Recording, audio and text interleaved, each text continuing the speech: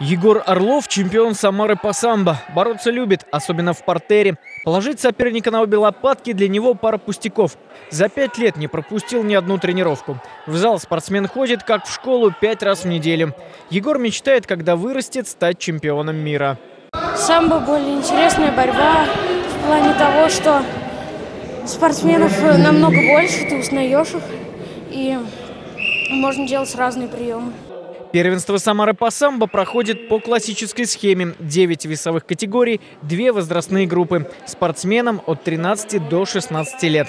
За медали боролись порядка 100 участников. Для вновь созданной городской федерации самбо это достижение, ведь первенство – это их дебютные соревнования.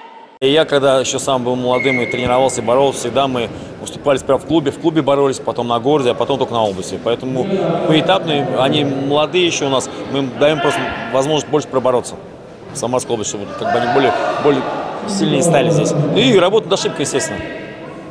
Главное, работа над ошибкой.